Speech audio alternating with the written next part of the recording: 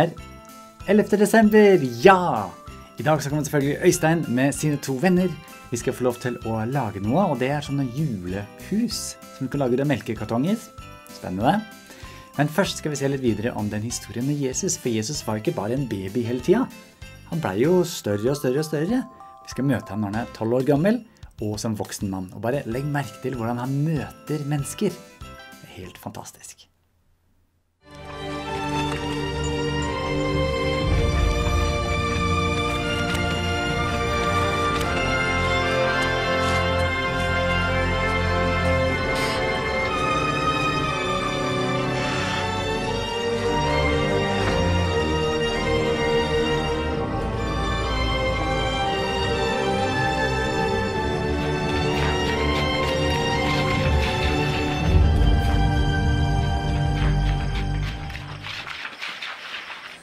Jesus var et barn. Nå er han voksen. Men han har vel vært en gutt? Selvfølgelig.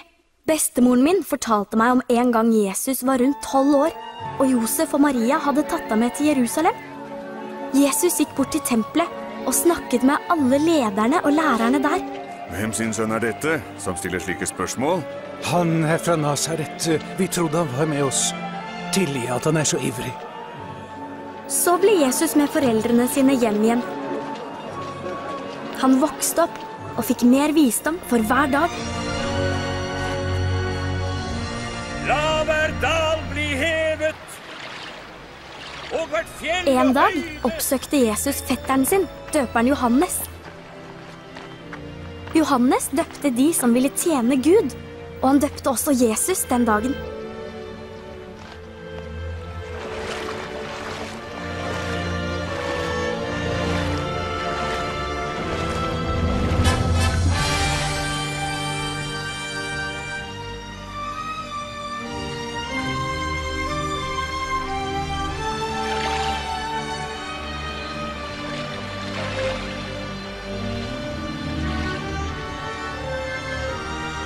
Og alle som var der den dagen, hørte Guds stemme fra himmelen.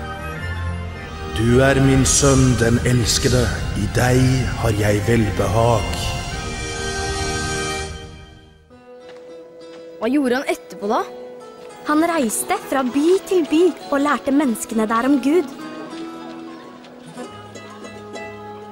Hei. Hei! Siden dro han tilbake til hjembyen sin, Nasaret. En dag han var i tempelet, ble han bedt om å lese fra Guds ord, skriftene. Den delen av de hellige skrifter som Jesus leste fra, fortalte om Guds plan om å sende Jesus til jorden for at alle slags mennesker kunne få lære å kjenne Gud. Herrens ånd er kommet over meg for å forkynne et gledesbudskap til de fattige. Han har sendt meg for å forkynne at fanger skal få frihet og blinde få syn igjen. For å sette de undertrykte fri, og for å forkynne at tiden har kommet da Herren skal frelse sitt folk. Han taler klokt.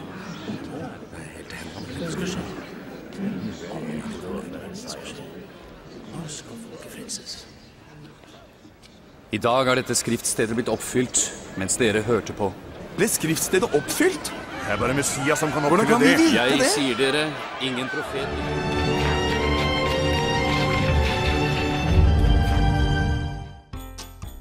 Ja, det gjorde han. men tror du han Jesus likte å sparke fotball?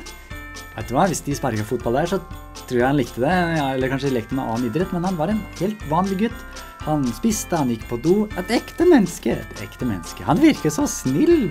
Ja, han kunne faktisk bli sint også. Sint? Ja, når noen ble mobba eller ble urettferdig behandla.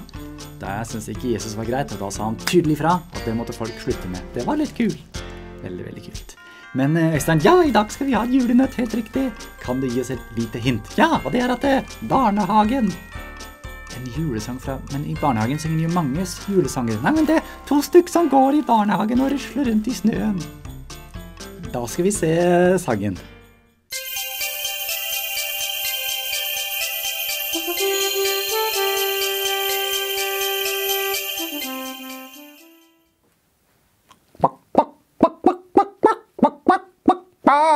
八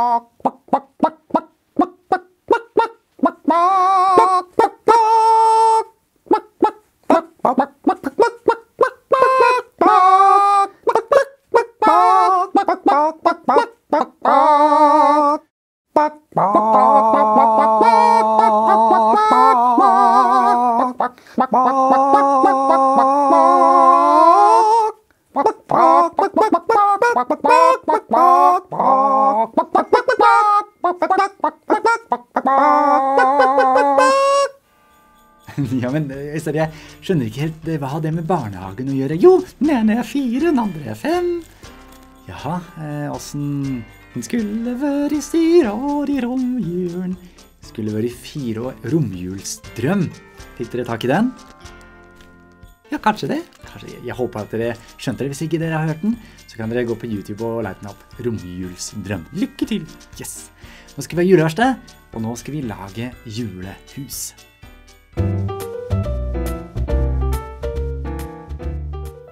I dag skal vi lage litt julepynt.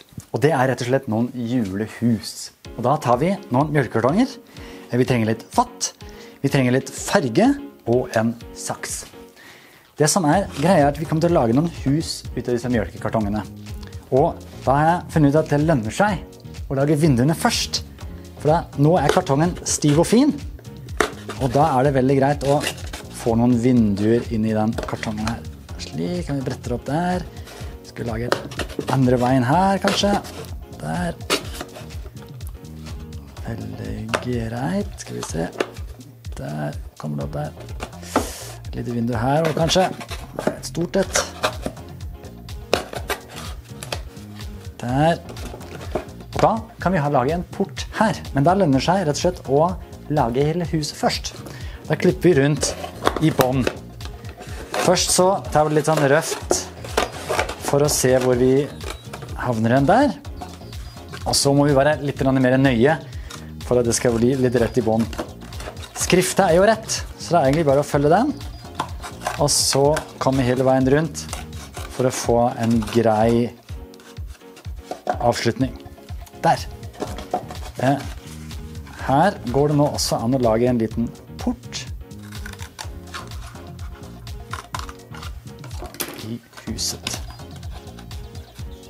Supert. Der har vi huset vårt. Og så er det å ta fram litt hvit farge. Da trenger vi ganske mye.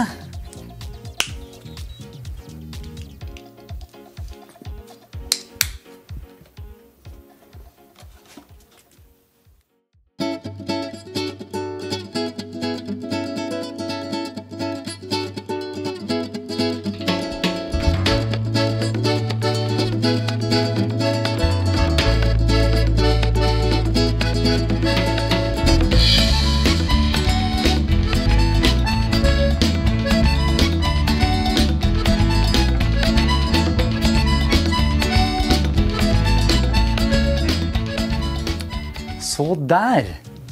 Huset er ferdigmalt. Og nå gjelder det å få litt røyk i pipa. Da tar vi bare en del vatt.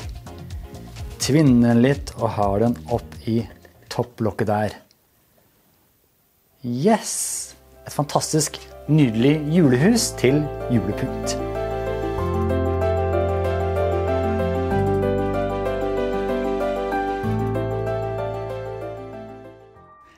Er så koselig å lage julepynt. Og det kan dere gjøre. ikke sant? Legg under litt vatt. Lag litt sånne julehus. Pynter litt. Det kan bli en veldig fin aktivitet. I morgen så blir det en ny utgave av julekalenderen. Da skal vi se at Jesus han var et vanlig menneske, men han kunne også ting som bare Gud kunne gjøre. Hmm, det skal vi se på i morgen. Så skal vi lage noe spennende nå, med noen remser som former seg til et hjerte. Velkommen tilbake i morgen.